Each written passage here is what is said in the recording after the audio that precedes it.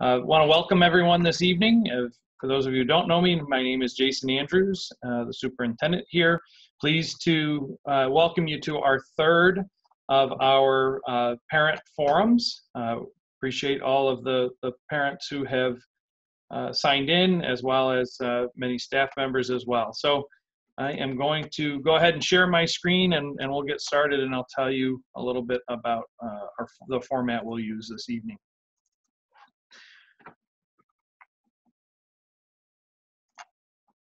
So tonight we are uh, obviously doing this via Zoom webinar. So just a little bit about that. So uh, we have uh, with us uh, our leadership team, and I will introduce them as well as Rachel Hamlin from uh, the Broome County Department of Health uh, that'll be joining us. And what we will do, I'll just go through the, the panelists, just introduce everyone very quickly, really go in a, a fairly detailed overview of our plan uh, and uh, try to answer questions that you might have throughout the course of the plan. And then, uh, really, at the end, we will try to respond to any questions that have not been addressed uh, through the question and answer feature uh, at the bottom of your screen. So, uh, ask you to, to put those in. I know some folks have already done tried the raise your hand feature, so that for us in this format won't work. so if you can uh, use that Q&A feature and uh, we'll be trying to answer questions as we go along in the, the Q&A and then of course uh, address them at the end. So uh, as I said, I just want to introduce uh, the people that we have uh, here joining us tonight. So we have with us, and you'll hear from very soon, Scott Beatty, our Assistant Superintendent for Instruction. We have Andy Fiorentino, our Assistant Superintendent for Business. In addition, uh, we have uh, Barbara Phillips, who is the Director of Learning and Continuous Improvement. Dr. Jason Hands is our uh, Director of uh, Student Support and Family Services. Again, you'll be hearing from him regarding special education and our English language learner services in our reopening plan. We have uh, Barbara Tasber, who is uh, from Broome Tioga BOCES and works in coordinating our technology and data. We have our uh, Director of Phys Ed, Athletics and Operations, Chris Durden. And we have our building level administrators uh, from the high school principal, Jeff Selazny, Associate Principal, Chris Klump, Middle School Principal, Kevin Straley, and our three elementary school principals from Weeks Elementary, Kristen Berriman, from Bell Elementary, Lori Holbert, and from Palmer Elementary, Toby Youngs. So it's our hope that we can uh, answer many of the questions that, that you might uh, have regarding our plan. So first, we really want to start uh, with thanking you, uh, thanking you uh, for uh, not only your support in March, oh, and I mentioned, sorry, the other panelists that I mentioned before from the Broome County Department of Health, Rachel Hamlin is right in the center of my screen, but I, I forgot to introduce her. So uh, we'll hear from from Rachel a little later too. Uh, so when we made this shift, uh, really in uh, with about 48 hours notice uh, to a fully remote setting, uh, you know, frankly, no one was particularly prepared for what we were about to experience together over the next several months, and the level of support that we received from families.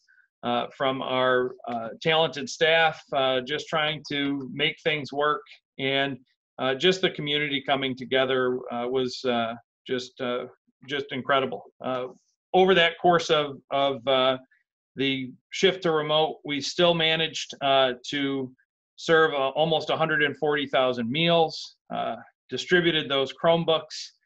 distributed Wi-Fi hotspots, worked with companies to try to get broadband access for people, tried to uh, work with those families uh, that don't have internet access. Uh, really, again, uh, saw everyone rally around uh, trying to do what's right for kids and to advance their learning. And so, couldn't be more proud uh, to be part of, of this community and continue with the honor of serving in the district. And then, you know, as for the past several months, we've been working on okay, so how do we get to a, a safe and successful reopening? And so I want to thank the uh, dozens of parents. Uh, we had uh, over 100 people involved in our committees for our reopening plan, over 800 uh, people involved in our uh, responding to our thought exchange questions. I want to thank everyone for taking the, in, in some cases, many phone calls uh, as we've tried to really student by student, family by family assess not only where we are, but what we can do to, to support people. And then uh, just the, the many people that continue to reach out with, with questions, with comments, uh, with suggestions, and uh, we really appreciate that and uh, appreciate everyone's patience. So uh, there, although there are a lot of rule books that are currently being uh, given to us, a lot of regulations, there's not really a playbook.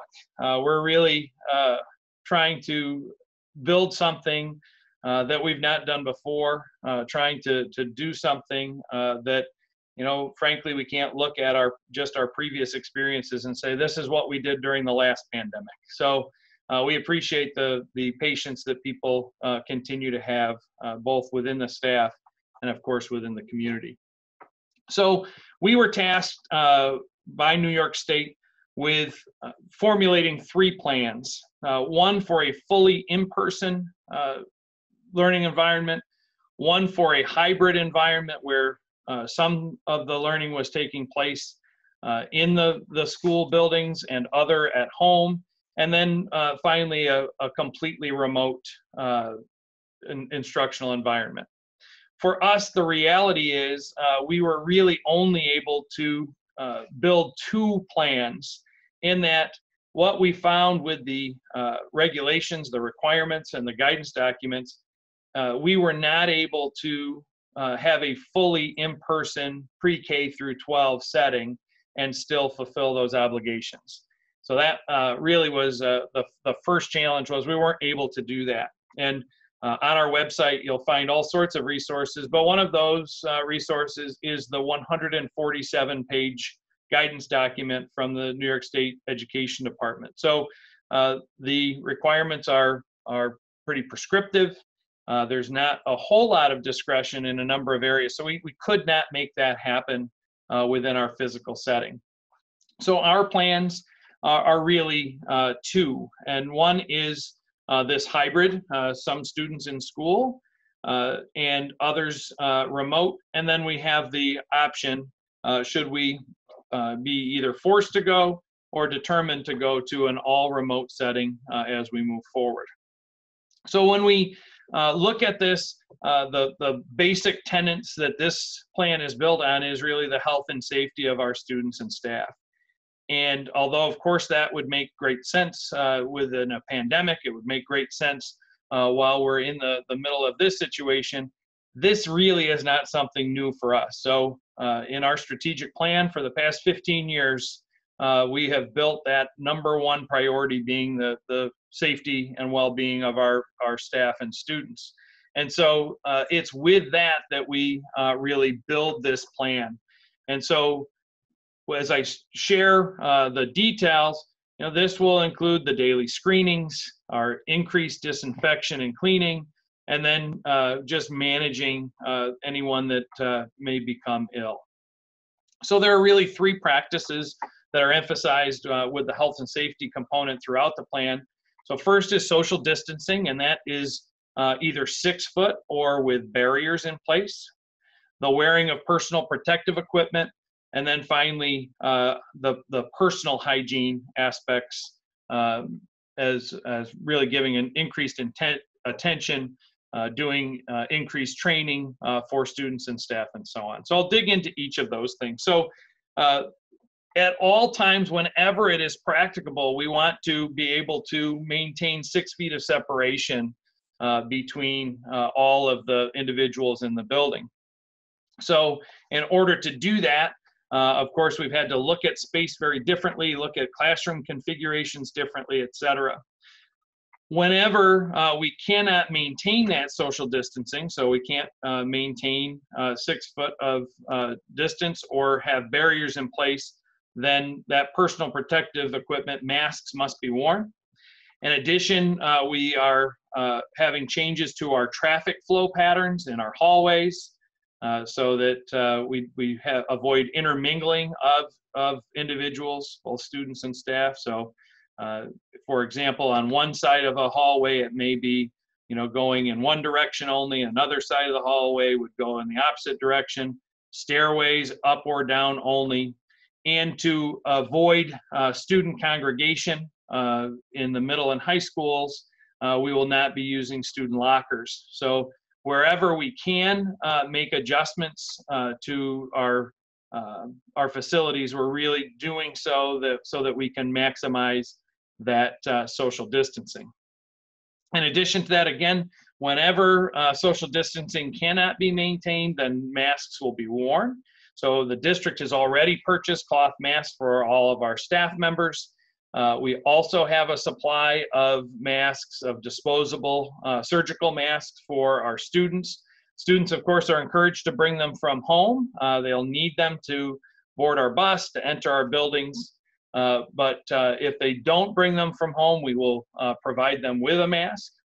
And then when there are periods of instruction, so when instruction is occurring and social distancing is in place, again, either that six feet uh, or barriers, then there will be the opportunity for a break from wearing the mask. So that uh, will be during periods of instruction. So at the middle and high school, a regular class period. So roughly 35 minutes. Uh, they'll vary just a little bit. And then at the elementary level, in those uh, each 30 minute block of instruction, there will be a minimum of a five minute break uh, from wearing their masks. And in addition uh, to that, and I'll talk a little, uh, quite a little bit more about masks as we move forward, our nurses also uh, have uh, significant personal protective equipment N95 respirators, uh, gowns, etc., that they are being provided with. So one of the questions, probably the biggest question, the question I get over and over and over, wherever I am, is about, so when do kids have to wear their masks? And uh, you know, I, I, try to be uh, as concise and clear with it as I can. Uh, frankly, uh, I've used the same slides. I've tried to give the same explanation, and and folks uh, are still a bit confused. So I really want to uh, try to be as clear as I can be. So students must wear a mask whenever they're not socially distanced. So that is non-discretionary. So when they're walking down the halls, they have to have the mask. When they're up and about in a classroom, they have to be wearing their mask. If they're going to the restroom, they need to, to be wearing their mask. If they're at bus stops, they need to be wearing their mask. The entire time they're on a school bus, they need to have their mask on. When they don't wear a mask, so when will, when will they be able to take them off, is really at the direction of a teacher during periods of instruction, as I mentioned, so 30 minutes, every 30 minutes uh, at the elementary level, in those class periods at the secondary level, they'll have a minimum of a five minute break from wearing their mask. Again, whenever social distancing is, is broken, then they'll have to have their masks on. So, and that really, again, uh, it's non discretionary. We don't have the ability to say, well, uh, we don't like that rule. Uh, we're more comfortable or less comfortable. Uh, both mask breaks and the wearing of masks are mandatory in the uh, guidance documents, both from the New York State Department of Education and the Department of Health. In addition to uh, the mask breaks, then students also won't wear masks, of course, when they're eating. So during their breakfast, during their lunch, we'll have social distancing in place uh, and they'll of course have their masks off during that time. Um, masks will need to cover their nose and mouth, so that will be important. And again, as I mentioned, uh, if the, the mask is ill-fitting or they forget their mask, then the district has a supply of masks that will provide for them. So then what, what happens if a student refuses to wear their mask? Now, uh, you know, I, I really uh, anticipate that in most cases, uh, students will absolutely be compliant. They may need to be reminded. Uh, certainly, we will do that. But if we have someone that is uh, simply defiant, refusing to wear that mask, what would happen is they would be subject to our disciplinary code. So if it was a repeated offense, so our, our intent is to assist them, to help them, to help them understand the importance. But if they were uh, simply being insubordinate to that rule, then we would apply the code of conduct. Ultimately, it could uh, result in a suspension in which they would have to be in a remote setting. Again, our hope is that that's not going to, to be problematic, uh, but that uh, will, will be what happens as we move forward. At the same time, however, there may be students who have a medical reason uh, for not wearing a mask, so an exemption. So students may qualify for an exemption, but that exemption must come from a healthcare provider. So either a physician, a mental health care provider, et cetera. So uh, what cannot happen uh, is a parent sending a note saying, my, my child is uncomfortable, uh, my, uh, I don't want them to wear a mask. This is a, a medical exemption. And so uh, that uh, physician's note would come to us. We would have that reviewed by our school physicians, and then that determination for eligibility for the exemption would take place at that time. What I would ask if uh, parents do believe that there is a, a, need for an exemption, that they give us a, as much advance notice as possible. It will be problematic for us if uh, they arrive at school with that exemption that first day and uh, trying to uh, accommodate those uh, those exemptions. So that again is a medical uh, exemption, not a preference piece. One of the things that we'll be doing uh, is training all of our staff and all of our students uh, on proper hygiene practices, uh, respiratory hygiene, as well as hand washing, uh, hand sanitizing, etc. There will be hand sanitizing stations uh, throughout the district in classrooms, in common areas, in cafeterias, etc. Uh, one of the real key pieces of, again, uh, that is not news to anyone, but that uh, frequent hand washing, avoiding touching uh, the face, uh, doing all of those uh, hygiene practices is a, a critical mitigating factor that we can have in, in the spread. In addition to that, on a daily basis, all employees and will will complete an online illness screener. So that that COVID screener, where we have an an app that we're uh, working to uh, procure for uh, both staff and students. Families will be uh, really critical partners with this and uh, can't emphasize how important it will be for families uh, to screen their students before they ever get to the bus or get to school.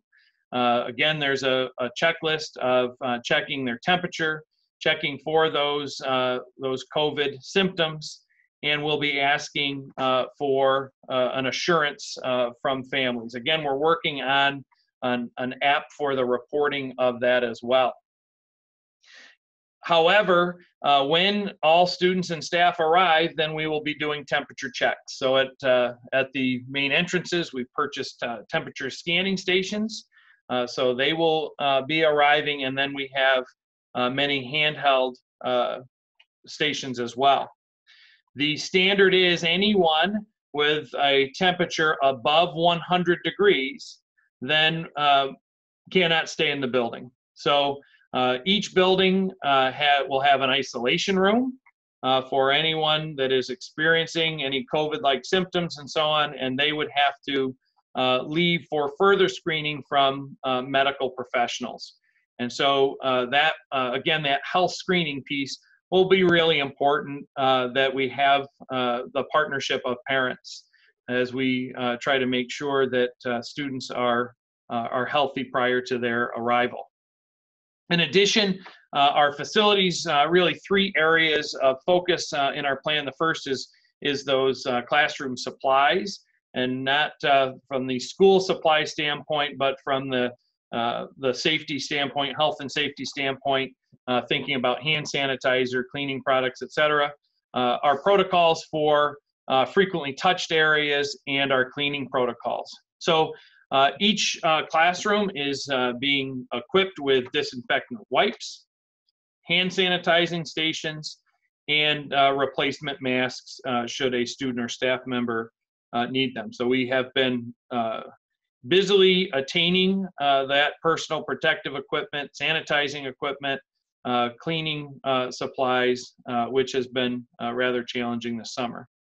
In addition to that, throughout the course of the day, frequent touch areas, desks, door handles, uh, etc., uh, have been identified as areas for ongoing cleaning. So uh, working through uh, the, the planning uh, for uh, placing, putting those protocols in place for that frequent cleaning throughout the course of the day. In addition to our daily cleanings and the, the multiple times through the day in our high touch areas and our hallways and bathrooms, on a nightly basis, we have purchased disinfecting uh, um, misters, misting equipment uh, that we will be utilizing in classrooms, on playgrounds, in buses, etc. And uh, we've already been using that equipment for, for some time and, uh, and are having uh, good success with that. We can clean, uh, we can disinfect large areas in a, a really short amount of time. And so we'll be utilizing those disinfecting misters uh, on a daily basis. One of the questions is regarding our air quality. So for the past several months, we've been working with our uh, architects and engineers uh, regarding air quality, and uh, they have been reviewing our facilities, and uh, we have been assured that our systems meet or exceed uh, any New York State standards. In addition uh, to that, of course, we complete our building condition survey. we do our annual uh, visual inspections are completed by outside professionals and filed with, with New York State uh, Education Department Facilities Office. We will also, though, be taking steps to increase airflow whenever possible. Opening windows, opening doors, uh, interior doors, uh, opening windows and hatches on buses uh, anytime it's over 45 degrees. So uh, one of the things that uh, is is part of our plan is to uh, increase into uh, the air wherever we can. In addition, uh, over the, the past couple of months and this summer, uh, we have replaced all of the filters in all of our uh, unit ventilators uh, through across the district. And so we, we believe we've been proactive in this area as well. Another critical component of our plan is our is providing child nutrition. So I mentioned uh, that, of course, has been a priority of us, of ours, is to, to provide uh, nutrition to our students. So we'll be really doing it, uh, of course, for our students uh, that are in school. We'll be uh, providing uh, the opportunity for nutrition for students in our hybrid model that are in school some days, not in school other days, and also the opportunity for students who are learning remotely. So our, our breakfast uh, will look much like it did uh, previously. So at the elementary level, uh, students will have their, uh, their breakfast uh, in the classrooms, again, uh, maintaining social distancing while they're eating. middle and high school students will be on a grab and go system that they'll get upon their arrival. And then in our, at our lunch times, so lunches will work much the same in that we will use our kitchens, uh, but we'll be employing again those social distancing practices uh, throughout, you know, going through the lines, etc. Uh, and then we'll use our dining rooms uh, for students uh, to eat. We we believe uh, with the numbers of our of students who have elected to go fully remote uh, that we can accommodate uh, in our dining rooms uh, with students in a, in a socially distanced way to, to eat. There may be times uh, that uh, we have some overflow. So for example, uh, we you know are expanding the footprint of that high school cafeteria a bit than, than we normally do. we will be asking students to, to be seated by cohort. In other words, they're going to sit with the same students every day. Uh, and you'll also likely see uh, some differences in the time. So we're going to have a slightly different lunch uh, serving schedule in order to accommodate those uh, things. If uh, we cannot uh, accommodate the social distancing within the dining rooms, then we've identified those overflow spaces where where students can go for their consumption. So one of the questions that I get often is, will students have to eat their lunch in the classroom? And the answer is no not at this time. Then those students who are in the fully remote setting, uh, we will have breakfast and lunch available for pickup in, in each of the buildings. Uh, in addition to that, for those families that uh, have no means to come get it, then we will uh, work on a delivery schedule. What I will say, however, is you know we did a lot of delivery in the spring. In fact, the majority of those almost 140,000 meals uh, were delivered to people's homes. In some cases, that was a matter of they had no means to get to the school to get it. In some cases, uh, frankly, it was just more convenient for them. And, and it worked out well for us because we also had uh, bus drivers who were uh, being paid, who were uh, eager to, to work and to help in any way they could. They're now going to be transporting students at those times. So it's going to be much more challenging for us uh, to do uh, all of that food delivery. So certainly, again, we want to feed our kids. That's a priority for us but again, we'll be asking for the help of our families uh, so that we can can make this work. As you might guess, some of this is a is a pretty heavy lift to try to make it uh, make it work fully. Students who are in the hybrid setting, those students in grades 6 through 12, will have the opportunity to take meals with them, breakfast and lunch with them, when they are in school to consume on the day that they're in a remote setting. So if we're on, Mr. Beatty shortly will go through that that A B schedule. But if I'm a, if today is an A day, I'm an A student, then I would take my breakfast and lunch home with me today that I would eat tomorrow while the B students while I'm home on a remote learning and the B students are are in place. So again, working through uh, that uh, that distribution of those meals to those students at the end of the day. Transportation has been one of the, the most daunting challenges uh, of this, in that, you know, I think one of the things uh, people ask me, why don't all the schools have the same plan? And uh, because not all the schools are organized in the same way.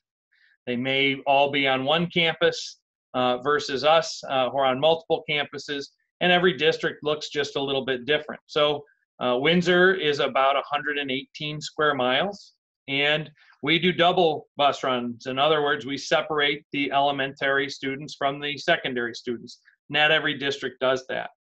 So uh, when we start looking at the requirements for transportation and buses, I started to talk a little bit about them, but this is a, a big challenge. So in order to have social distancing on the buses, then we are going from a 66 passenger bus having that capacity uh, having a reduction all the way down to 22 students. So what that means is, of course, uh, it's a it's a much uh, greater challenge to transport them. One of the things that we uh, did uh, uh, on our website, the form is still there, is had the opportunity for parents who said, you know, we would like to provide transportation ourselves. And so that is something that many families have taken advantage of. Not everybody has that uh, the the ability to do that and we absolutely can provide transportation uh, to those who have not. So when we start looking at uh, that uh, at our transportation piece again two critical areas. So part is the, the cleaning and disinfecting protocols and then that social distancing so uh, all of our buses are going to be disinfected prior to uh, their their runs uh, at the beginning of the day, in between runs, and after. So uh, we again uh, will have our, our misting uh, machines in the at the end of the day, but we also will have wipe downs again of those high touch surfaces as we go through. In addition, as I mentioned before, in warmer weather, 45 degrees or above, we'll have windows and the roof hatches open. Now, one of the things that's important to note uh, is uh, regarding hand sanitizer. So I mentioned we have hand sanitizing stations throughout the buildings, including the transportation building. However, uh, the district cannot equip any of our buses with hand sanitizing stations, nor can uh, any of our, our bus drivers, bus aides, or any monitors have a personal supply of hand sanitizer. That's prohibited. However, the guidance does not prohibit students from having their own personal hand sanitizer in in their uh, you know in their bags, uh, on their person, etc. So uh, the district cannot equip buses with hand sanitizer. Our staff won't have hand sanitizer, but your children can bring their own hand sanitizer with them uh, should they choose to do so. Again, uh, on those buses, uh, that social distancing, so students will be one to a seat. Uh, unless they have a member of their household, then they could have a second person in that seat with them. They'll be in assigned seats uh, in, in pre-K through 12, and we'll be loading the bus from the back to the front. In other words, if you're the first stop, you're in the back seat. Not like when I was in school when you know, the oldest, the biggest, the toughest, or whatever would get the back seat. Now it's going to be the first one on the bus. So uh, those will be assigned seats, uh, and and then we will uh, unload, of course, from the front to the back. So any uh, limiting of exposure that that we can, uh, then we are doing that, of course. What it will mean, though, is uh, we're, we believe at the secondary level, based on the number of people who have opted out of transportation, who have opted for a fully remote uh, learning, and the fact that we will be on that AB schedule 50% uh, decrease, we're able to still do that secondary run in one run. At the elementary level, however, uh, we need to do two bus runs, and uh, we'll talk a little bit about what that schedule will look like in, in just a few minutes. Again, as I mentioned before, uh, masks uh, will be worn by, by our staff on the buses, as well as all students uh, who uh, do not have a medical exemption from that. Of course, one of our main uh, concerns is also the social and emotional well-being of our students. And that uh, remained a concern, of course, in the, the shift to remote learning. the, the mental health of our students is, is critically important and, and just maintaining family well-being. And so uh, we also have a pl- uh, in our plan uh, work to address that to provide support for students, for families, and again to to uh, continue to facilitate the the relationships and the partnerships that we have with families. So we have a district advisory council. We're fortunate in our district that each building has certified school counselors. So uh, it's somewhat unique to have a certified school counselor at, at, in every elementary building. So we're glad uh, that we have those resources. So they, along with our school psychologists, our social worker, and other uh, partners, our community school coordinator, et cetera, uh, are, have been working uh, through the summer to update our counseling plans and to uh, make plans for uh, the training of staff, the training of students, and, and really checking in with them. So we'll be doing surveys. There's a survey that will be coming out to all parents uh, very, very soon uh, from that uh, District Advisory Council on Social and Emotional Well-Being.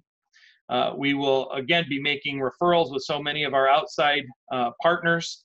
We're working on some videos on what to expect so that as, uh, as students and frankly families are experiencing anxiety about What's it going to look like uh, that we can start to ease some of that anxiety? We will be uh, continuing with some of our parent support groups and then uh, really working with uh, staff and students on uh, developing uh, coping skills as we recognize that this has been a, a traumatic time for so many families. So then, really, that we start to move into so what does it look like from the scheduling standpoint? So I'm going to turn it over to Mr. Beatty. I think I was able to give him the ability to share his screen.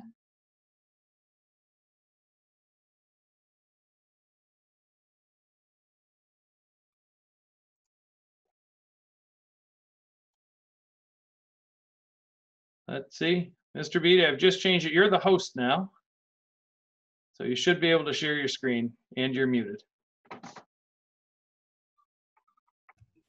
Working on it. Couple clicks here. Excuse me.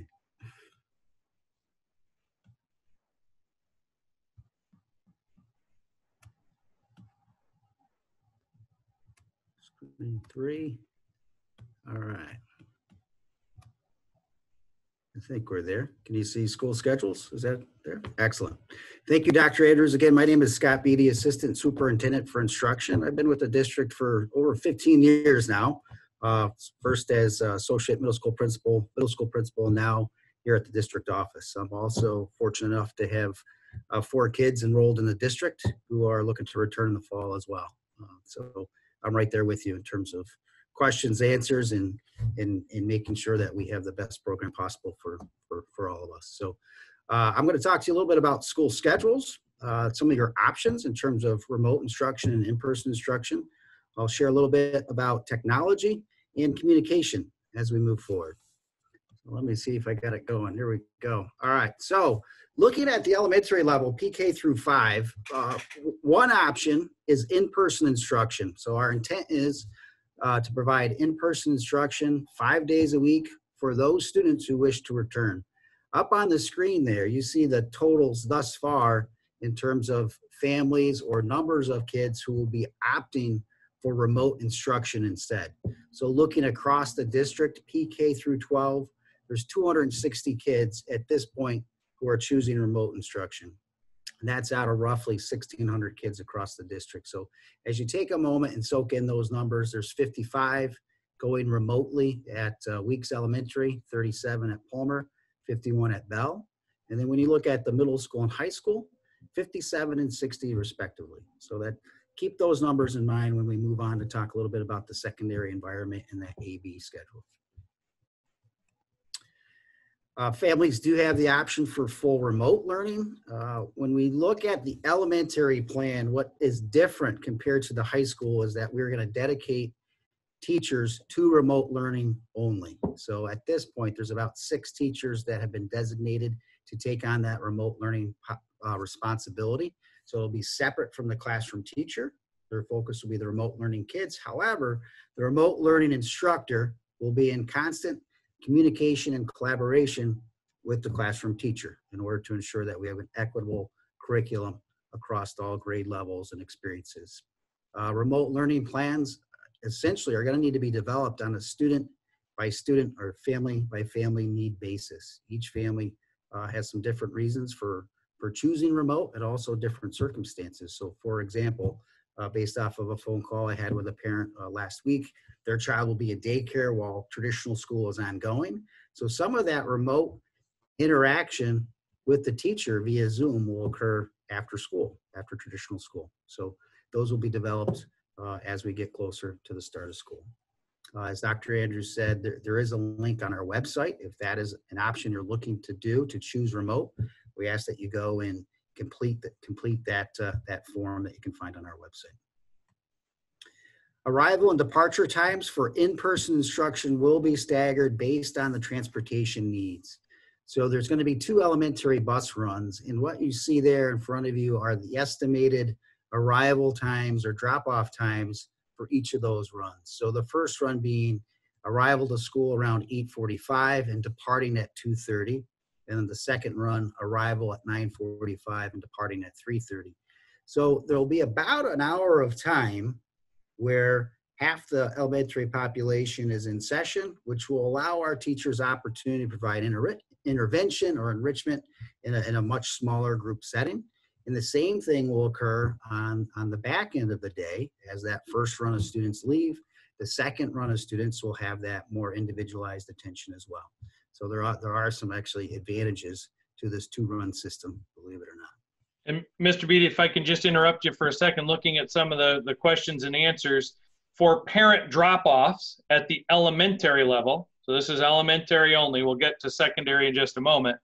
Parent drop-offs, you would drop them off as normal, 845 and pick up at 3.30 again you uh, roughly you'll get uh, correspondence from uh, the principal so pick up and drop off may look a little bit different than they have before but uh, they won't be on on that shortened piece. So if you're a drop off uh, you would do that as as normal in terms of the normal schedule. Again uh, making some variations as we again have to uh, have our protocols for temperature checks, et cetera, and we're trying to promote as much social distancing as possible. So that's uh, something in the chat. When will they know uh, when that uh, will be? So I can tell you that's evolving every day. So part of it, every time someone makes a decision that they're either going to attend or not attend, or they're going to use transportation or not transportation, that impacts the runs. I will tell you the transportation department is working very hard on this all day, every day, and you can expect to know that schedule very soon. And by department, he means Terry Butts. So if you have a chance to talk to to, to uh, Terry, certainly extend your best wishes because she's doing an outstanding job for us. You too, Mr. Durden.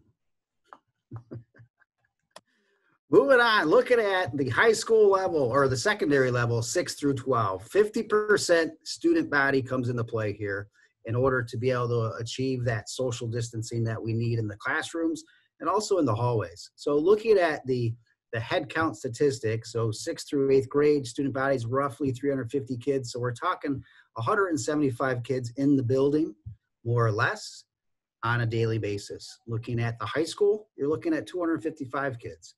It's an important number to keep in mind uh, when you think about our school, uh, our secondary school experience compared to some of the things that you're seeing on the news. Uh, in particular, I reflect on the, the, the video or the footage coming out of Georgia, that Georgia high school where kids were jammed into the hallway. Uh, when you're looking at 50% capacity in, in our buildings, that experience isn't going to occur. In addition, other measures are being put in place in terms of controlling hallway movement uh, by the principal and, the, and their teacher leadership committees uh, in, in, terms of staggering student time in the hallway uh, in, in, terms to, to minimize and to maximize the ability to distance. So this idea of an A-B schedule. Let me show you the graphic. I'll let you take, take a step back and soak this beauty in. So obviously 50% of kids every day divided into cohort A, cohort B. So if I'm cohort A on Monday in this scenario, I'm there for in-person instruction. On Tuesday, I stay home and I attend remotely. Now that remote experience the intent is for students to zoom in to their core classes on the remote day. In addition, there'll be some extension activities that they'll need to complete in preparation for returning to in-person instruction on Wednesday. And if you look at cohort B, it follows the opposite schedule. If you carry that out through the week and then get into the following week, essentially the schedule reverses. If I'm Monday, Wednesday, Friday in week one, I will be Tuesday, Thursday, week two. Again, the intent behind that every other day experiences is to have that equitable access to education and also try to mitigate the impact of holidays that, that are, are typically on Mondays and Fridays within the school calendar. Uh, for electives in the middle school and high school, on your remote day, you will not zoom into those classes. You can expect to have extension activities uh, available for you uh, uh, online in utilizing your Chromebook. Uh, as we'll talk about technology, every kid K through 12 will have access to a Chromebook. School, school schedule, uh, taking a look there, uh, because of the need to support the two elementary runs, uh, the secondary, both middle school and high school will be ending an hour early. So the time that you see on, the, on that graphic in front of you 745 at the middle school and 750 respectively. That that essentially is is is a is student entry time into the building. Uh, knock some secondary teachers for a loop in our last webinar uh, in terms of the, the start day. So that 745, you can picture kids entering into the building to begin their day uh, with dismissal occurring at 115 and 130 at the middle school and high school level to get about the bus run in order to be able to accommodate the two runs at the elementary level. Families have the option to choose full remote at the secondary level as well. Uh, in this in this circumstance, the intent is for the classroom teacher to provide that remote instruction. Uh, kids who are on 100% remote would zoom into or participate via Zoom with their classroom teachers.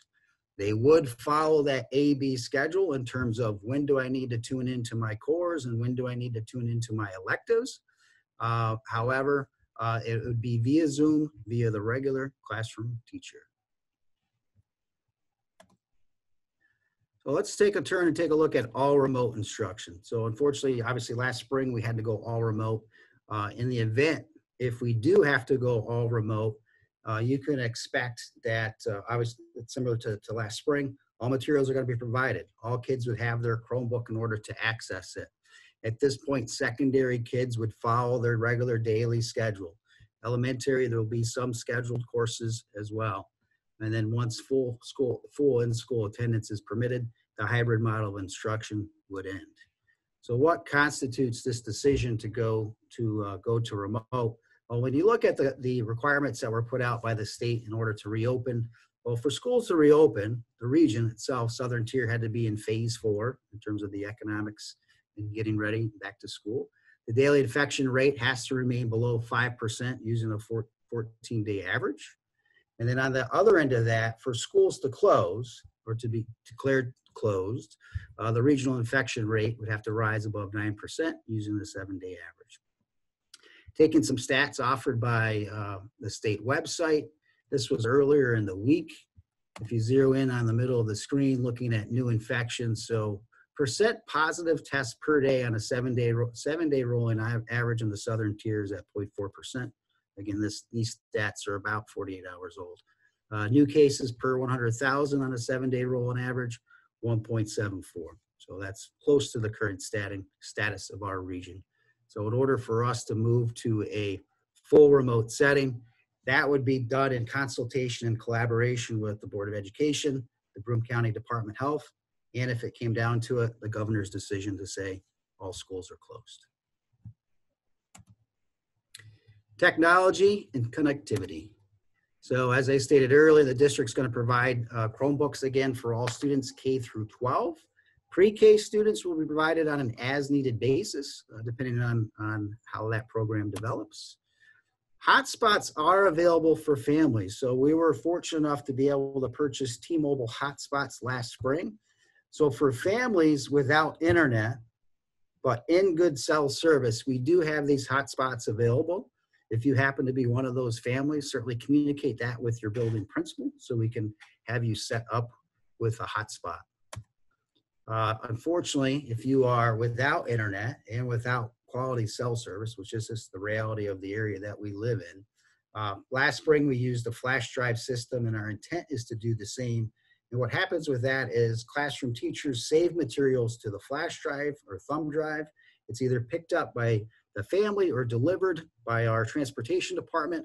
Students can plug it into their Chromebook and then upload the materials in order to participate either watching a video, watching video instruction or answering questions, save back to the thumb drive, re-deliver to the school, so then the teacher can review the work and provide feedback.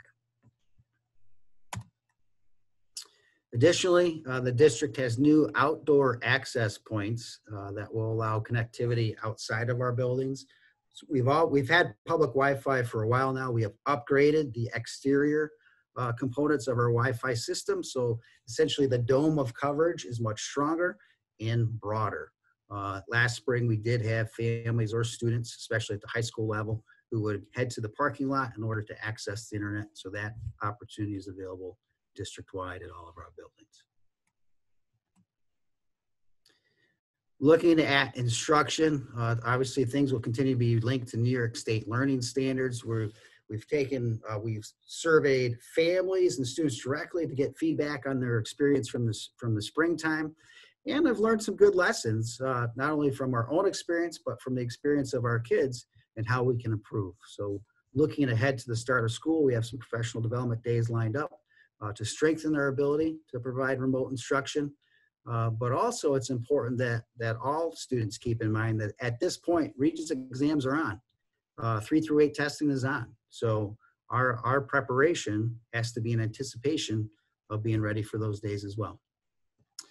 Um, and certainly our intent is to provide an equitable experience regardless of your decision, whether it be remote or in person or a little bit of both.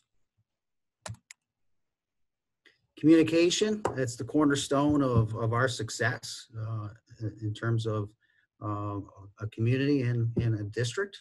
Uh, top priority, you know, at any time you have a need, don't hesitate to call the building principal, uh, hitting up their main office number and lines, which are available on our website.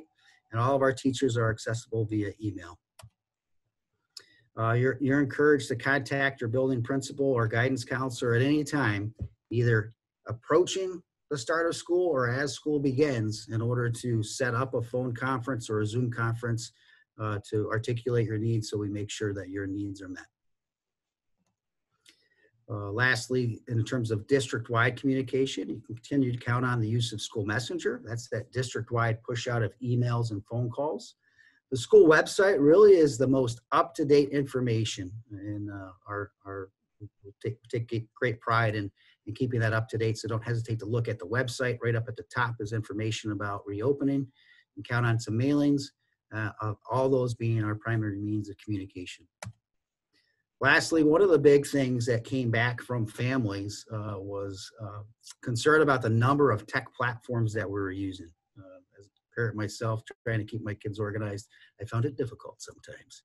So when you look at the two main platforms that you can expect to see within your kids' schooling this year, Seesaw is the platform uh, K through three uh, that will allow for the transfer of materials and videos and also communication between classroom teacher and parent.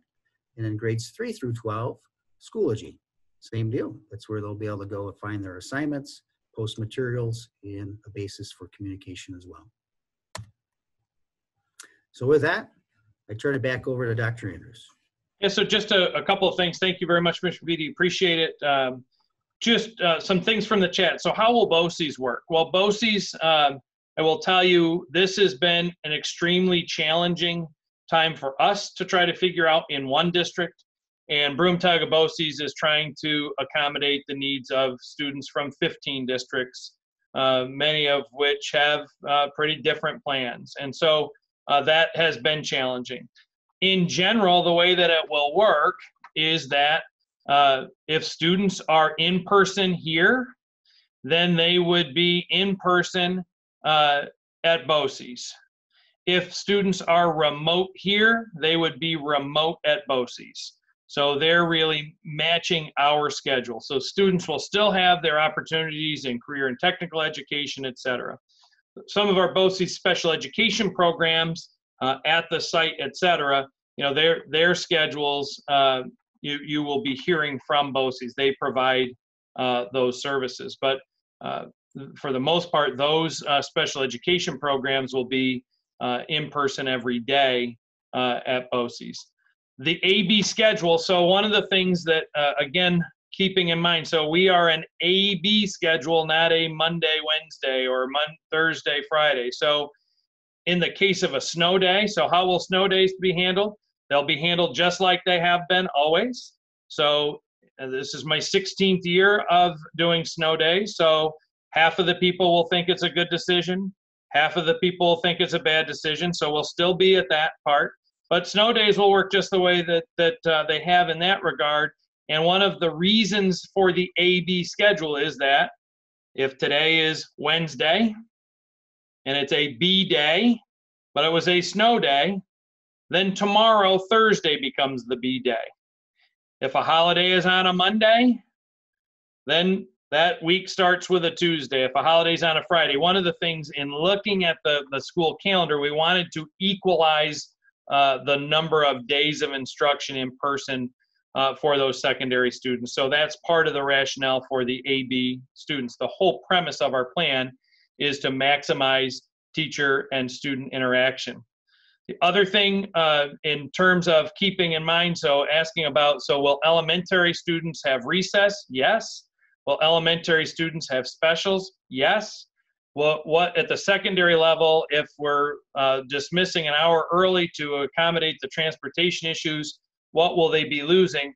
Well, they're going to be shortened periods. So they'll still have the same class schedule that they would have, the same, be enrolled in the same courses. They'll just be reduced by a few minutes in order to accommodate the transportation runs. So again, the part of the big premise of this plan is to ensure that students are not denied opportunities, that they're not denied course offerings, and we maximize that contact between teachers and students. So with that, and we'll continue to uh, address questions as we go, I want to turn it over to Dr. Hands, who will uh, discuss uh, special education and English language learners. All right, thank you, Dr. Andrews. My name is Jason Hands. I'm the Director of Special Programs at the Windsor Central School District, and I'm going to speak to you about the guidance that we have received from the state to address the needs of our special education students. So the main uh, objective that the state uh, set forth to us is to make sure that we follow IEPs as closely as we can in the environment that students find themselves in this year. So whether that is in-person learning with social distancing or if that is fully remote learning, we need to make sure that we are providing those services as best we can uh, in that given situation. And I'll explain to you how we're going to do that. So each teacher will review their caseload and the current IEPs.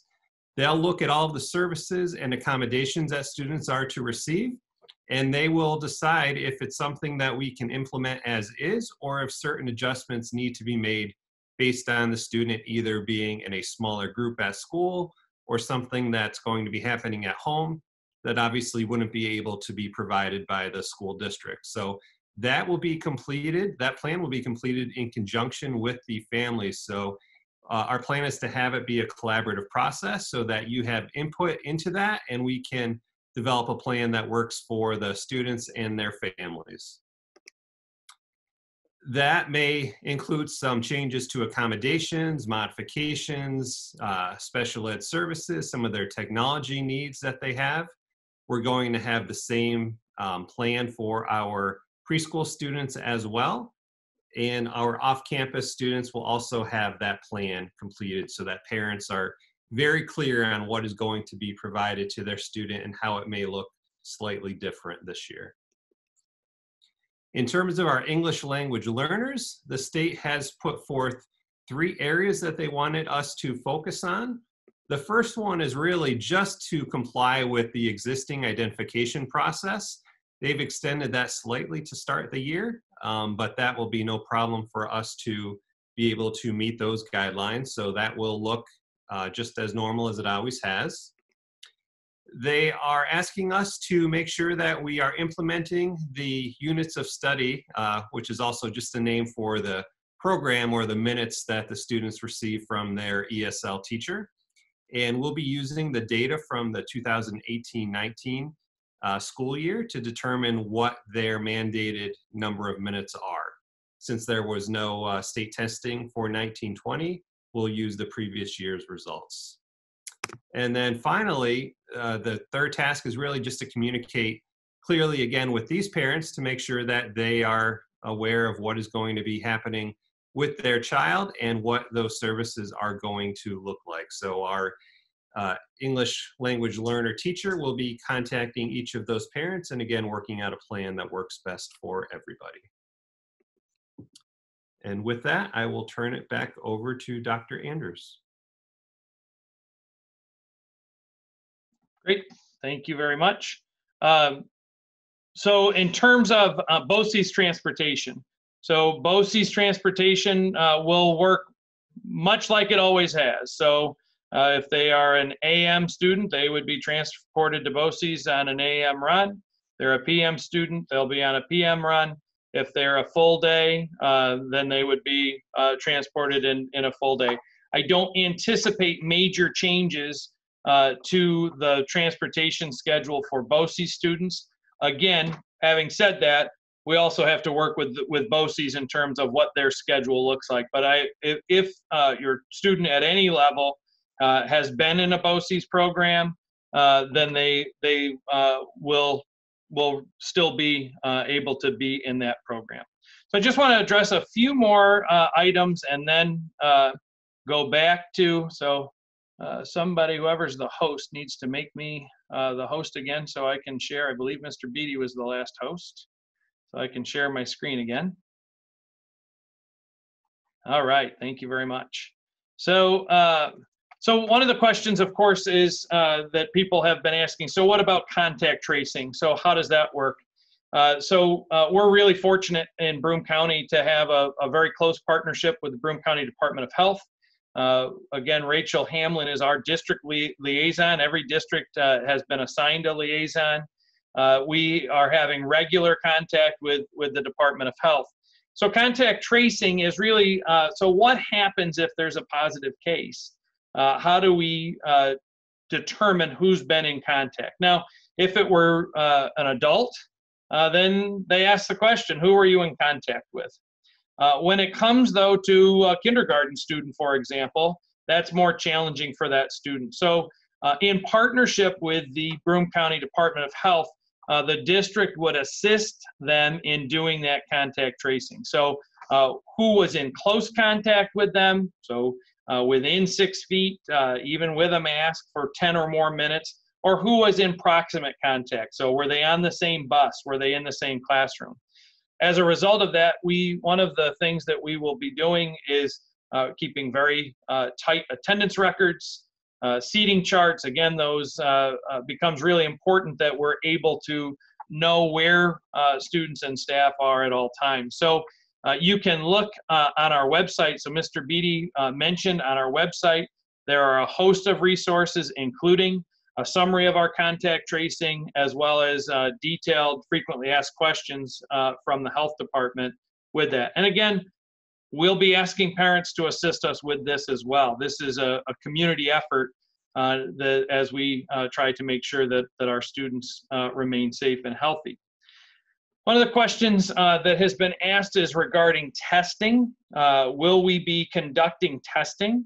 Uh, part of that is because the governor has, in his statements, talked about testing, but in the guidance from both state agencies, the New York State Education Department and the Department of Health, uh, the school district is not involved in testing. So testing is done through healthcare providers or at the direction of the Broome County Department of Health. So again, we would be partnering with them uh, if there are is the need for uh, people to be tested. And again, there on our website, uh, there are resources uh, that you can uh, see with that. So then what happens if there's a positive case? So this is where that contact tracing really comes comes into play.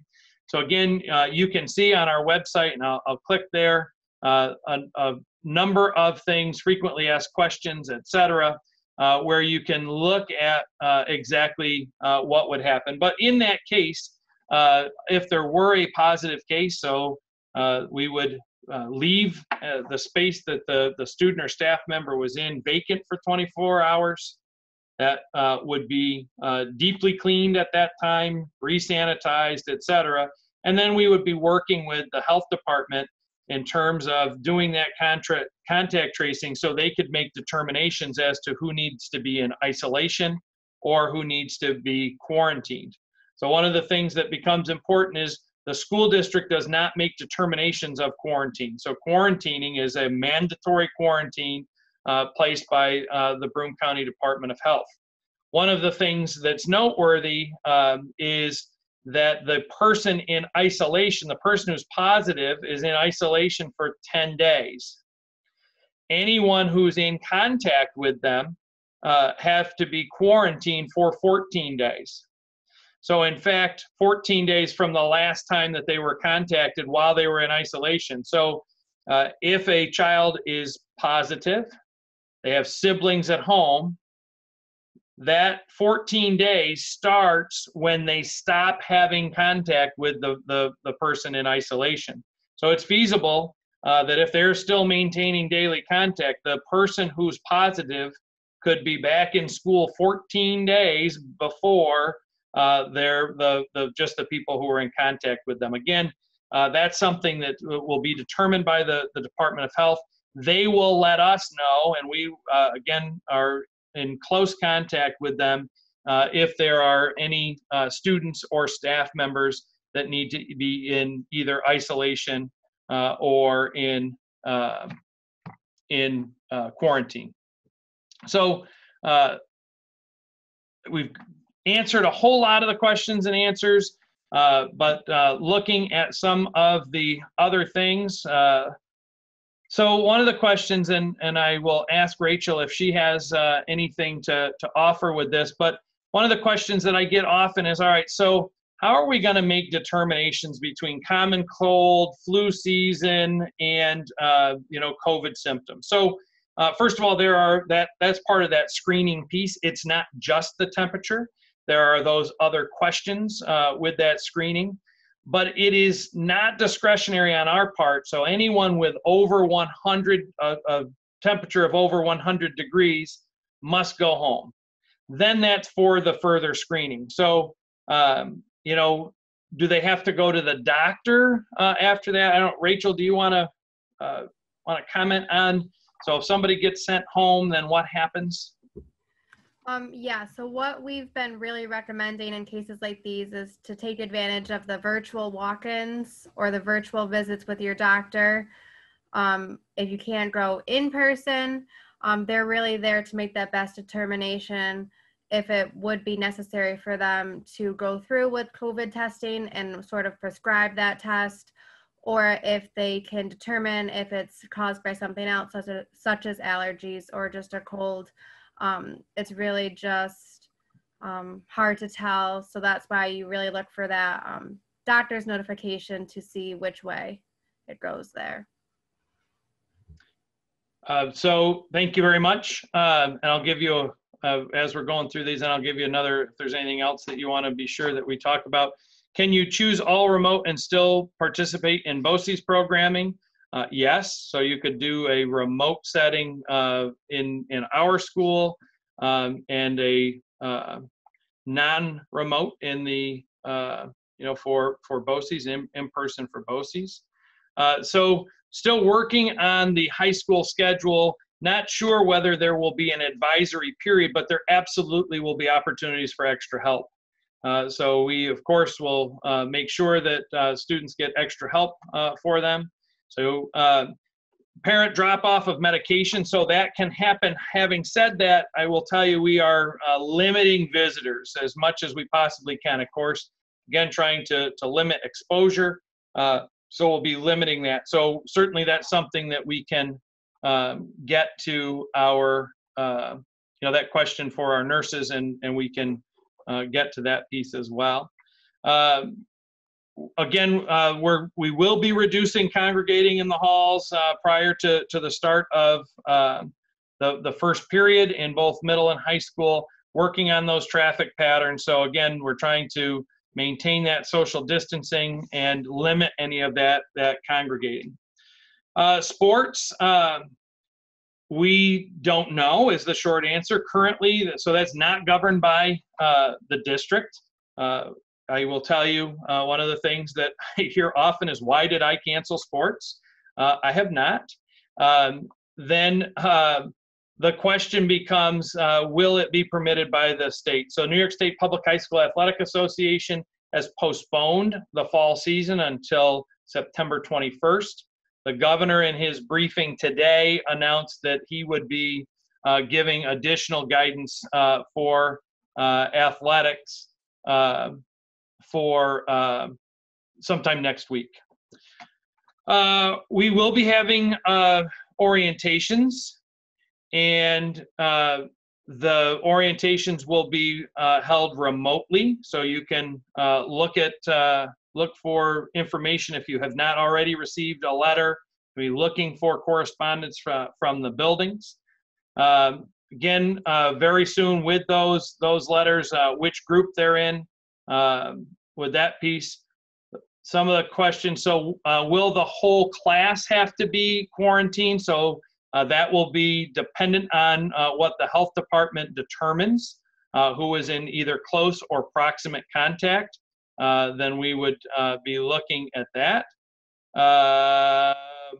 Rachel, if you can take a look. So one of the questions is, so are they, re, uh, is a student required to have a doctor's release to come back to school if they have uh, had the over 100 degree temperature uh, and sent home? Is that a requirement? Um, that is something we are still working with, um, discussing with our group of doctors and nurses at the health department. The New York State um, says it is a um, mandatory practice if the child is sent home sick that they need that doctor's note of clearance or a negative test and um, the symptoms resolution um, before returning to school. We're working with our doctors now to determine if that's feasible for all the school districts to mandate that. Um, so I don't have a definite answer for you, but I will get back to you. Great, thank you. Well, we'll uh, we'll make sure we clarify that as uh, as we move forward. Um, what about uh, participation in co-curricular events? So uh, if someone uh, opts for for full remote, will they be able to participate in graduation? Yes. And prom, if there is one, yes. If again we were not able to do that ourselves this time, th- this past year, um, we'll see what what happens with that. Can students opt for remote? or in person and change their mind? Yes. So this becomes again part of that partnership conversation. So uh, most districts in the region, in fact, I'm not aware of another district that uh, has a, a policy uh, or, or plan as we do. In most districts, you have to opt for either 10 weeks, 20 weeks. Uh, I have heard some are even for the full year. So uh, in our plan, it really is something that you can make an adjustment. You can say, you know, uh, we tried in person. We're now more comfortable going remote, or you know, we want to wait and see how the remote's going, and and then uh, go to in person. So we're absolutely going to uh, try to accommodate those requests. What we would ask though is that uh, families work with us. So as you can see, there's some complexity to these plans. Uh, the scheduling has been challenging. The bus routes are challenging. All of these things are, uh, you know, frankly, pretty hard to do. That's uh, the the group that's here has been spending uh, all day, every day for months working on on trying to to pull this off. So if I were to decide to decide here on a Wednesday night, hey, I want my child to to switch from remote to in person tomorrow, we probably can't accommodate that next week? Yeah we probably can. So we just ask you to work with uh, with our, our teachers work with our administrators. Uh, we have the the same interests in mind uh, as you do in the success of your your your children. And so we would just ask that uh, people work with us. Um, uh, let's see trying to think of is there a checklist for uh, there is a checklist. Again, you'll be getting uh, some of those things. Uh, if a child is sent home uh, for non-COVID symptoms, would they need a clearance to return? No. Uh, but uh, unless there's something, again, that temperature piece is something that we'll, we'll get more information about. Um, the school start and stop time. so the uh, the schedules uh, again uh, middle school and high school will start when they always have. So student arrival 745 uh, at the middle school 750 uh, at the high school. Um, then they will leave really an hour early at the elementary level. Um, then we will will work through the the 845 to 330 is uh, for those that are dropped off, and then depending upon uh, when the when the runs are there. Will there be uh, supply lists coming out? Yes, uh, there will be supply lists uh, coming if there have not been already. Uh, music classes, so our music teachers have been hard at work on music, so that is again a little bit tricky because there the social distancing is now not six feet, it's 12 feet. So the short answer is we won't have very large ensemble groups. Uh, the you know for one thing our numbers uh, based on that AB schedule and so on are reduced to begin with, but the focus will be on small group and uh, and individuals. Uh, what we're very fortunate, and we at this time we also won't have concerts, uh, so uh, it wouldn't make sense to to we're not planning for that fall concert. However, we're very fortunate uh, to have our beautiful recording studio uh, in our high school. And so we'll be looking at opportunities uh, for students to record. Uh, again, Mr. Morano, Mr. Carl, uh, and we're working on the idea of how can they they spread students out? Can they go outside when weather permits, et cetera? So as you know, music, our music program is something we take great pride in. and we, we certainly want to make sure that that that that can happen. Uh, so students, yep, they'll they will carry uh, their materials with them. We are trying to limit uh, the materials as well, uh, if we can. What's the deadline to to choose uh, remote or in person? The deadline is last Friday, but again, we continue to work with with folks. What I would ask is Uh, so these are not conceptual plans. They are student by student, really individualized. So uh, as we're looking at staffing levels, as we're looking at teacher assignments, all of those things, uh, the, the, the sooner we know, the better we're able to plan. So uh, the, the hard deadline is not as hard, but we really would ask uh, for you to help us uh, as as soon as uh, as soon as they can. Um, will parents of seniors get a timeline of information for photos, yearbook? Yep, all of that will happen. By the way, we're still uh, waiting for our yearbooks from last year. Uh, still in in production as we uh, start looking at, at those things. Again, so will you get called uh, to uh, pick up your child if they have a high temp? Yes. Um, and I think on my screen that, that I've uh, got most of them. So uh, again, I want to uh, encourage you. This is just one part of the conversation. Uh, if you have questions, don't hesitate to pick up the phone, to send an email. We will uh, we will post this uh, recording as well as the slides on our website. certainly want to to answer questions that you have going to want to thank everyone for the partnership. One, one of the things, uh, as I mentioned, this team has worked incredibly hard. I'm really proud of the work that's been done, uh, keeping kids first. Uh, really proud of our staff, uh, trying to think through how can we ensure uh, that all students are successful. And you know, the other thing to, to know is that the majority of the, the people uh, that are, are as panelists here, we're also parents in the district. So we have those same interests. We also work in the building. So, in terms of the health and safety of your kids and our kids and ourselves, it's something obviously that we're taking very seriously and uh, nothing that we're taking for granted. So, we appreciate the partnership. Uh, I say often how blessed I am to work in in the, the this community, the support that we have, and uh, we know that uh, together we're going to be able to pull this off and that's going to require that we do it truly as a partnership. It's not something that we can do alone, certainly without parents. Can't do it uh, without the support of uh, the Broome County Health Department and, and other partners. Uh, just give one uh, last opportunity. Rachel, anything from the, the health department standpoint that we've missed uh, or that you want to uh, provide additional information? Um, no, I think you covered everything. Um, you've got everything included in here that I could think of. So yeah, I'm all set. Great, thank you. Want to again thank everyone for their time this evening and uh, wish you a, a, great evening, great rest of the week, and uh, we will we will see you soon. Thank you all so much.